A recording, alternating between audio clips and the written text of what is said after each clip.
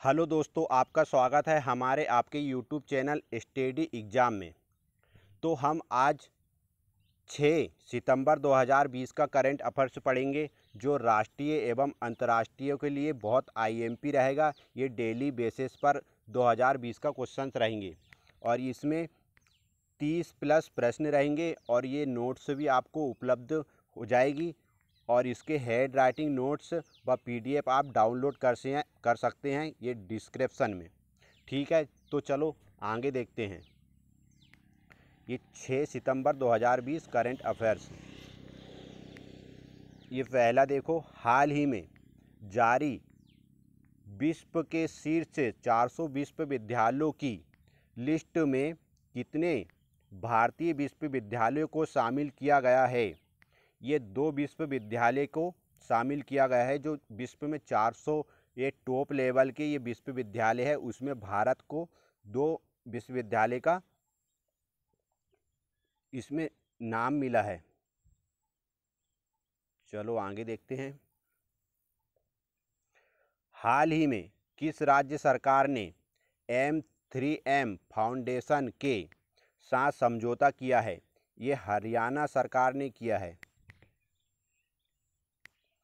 फिर आगे देखते हैं। हाल ही में नेशनल ट्राइबर रिसर्च कॉन्फ्रेंस का आयोजन कहाँ किया गया है? नई दिल्ली में किया गया है। हाल ही में किस राज्य में मूर्त विरासत की रक्षा, संरक्षण और पूर्ण स्थापना के लिए विधायक पारित हुआ है? ये असम राज्य में हुआ है।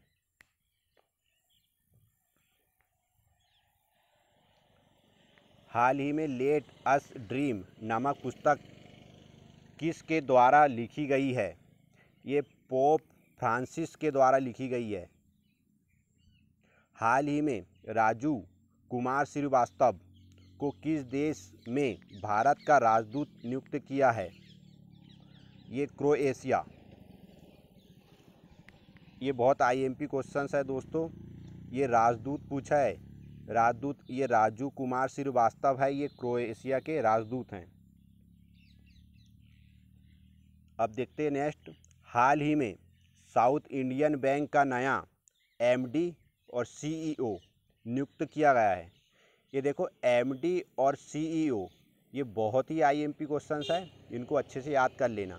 ये रेलवे एसएससी में तो पूछते हैं एक नंबर का क्वेश्चन ये मुरली मुरली रामकृष्णन को साउथ इंडियन बैंक का एमडी और सीओई सीईओ नियुक्त किया गया है। हाल ही में जी ट्वेंटी विदेश मंत्रियों की असाधारण बैठक की अध्यक्षता किसने की है? ये सऊदी अरब ने की है।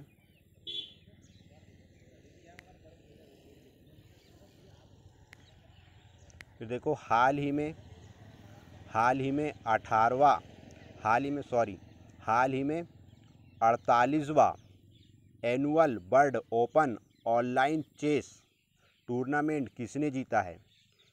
पी इलियन पीलियन ने जीता है। फिर ये सेकंड क्वेश्चन फिर एमडी और सीईओ का आया है।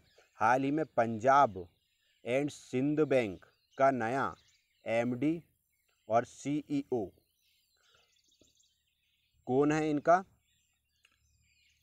S Krishnan S Krishnan. ठीक है, चलो आगे देखते हैं।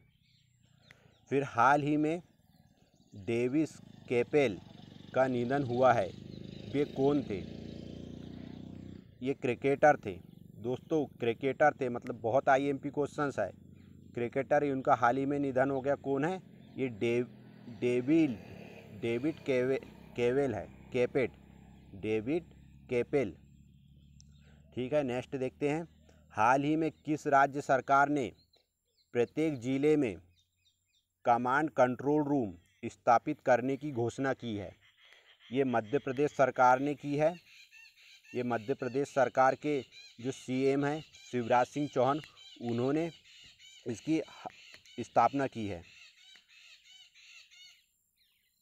नेक्स्ट क्वेश्चन देखते हैं। हाल ही में कोविड नाइन्टीन क्लेब कनेक्शन यूनिट किसने विकसित की है? ये टाटा स्टील कंपनी है जो उसने स्थापना की है।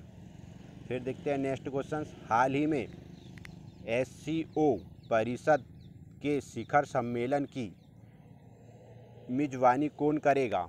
ये भारत करेगा। फिर नेक्स्ट क्वेश्चन देखते हैं। हाल ही में भारत और किस देश की नौसेना के बीच इंदिरा नेवी नौसेना अभ्यास प्रारंभ हुआ है? ये रूस ये रूस है जो हर वर्ष अपने भारत के साथ इंदिरा नेवी नौ अभ्यास करता है। साइकिलिंग समिट 2021 की मेज़बानी कौन करेगा?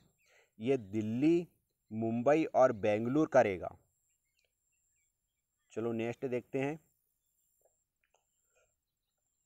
हाल ही में भारत के नए चुनाव आयुक्त ईसी के रूप में पद ग्रहण किया है। राजीव कुमार हैं। हाल ही में भारतीय नौसेना के सात समान के रूप में किसे पद ग्रहण किया है? S R Sharma S R Sharma ने किया है।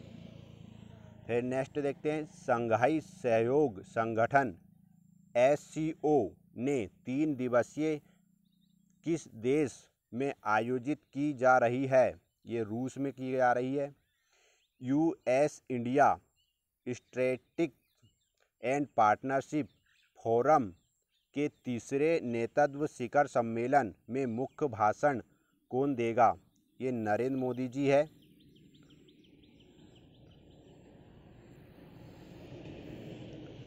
नेक्स्ट क्वेश्चन देखते हैं। हाल ही में केंद्रीय रिज़र्व पुलिस बल श्रीनगर सेक्टर का महानिदेशक के रूप में किसे नियुक्त किया गया है?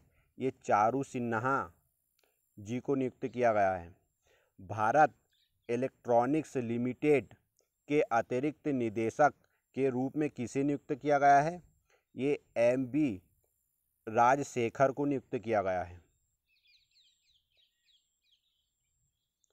तो दोस्तों, आपको हमारी वीडियो पसंद आई तो इसे लाइक कीजिए, प्लीज़ इसे सब्सक्राइबर कीजिए और इसे कमेंट कीजिए। तो थैंक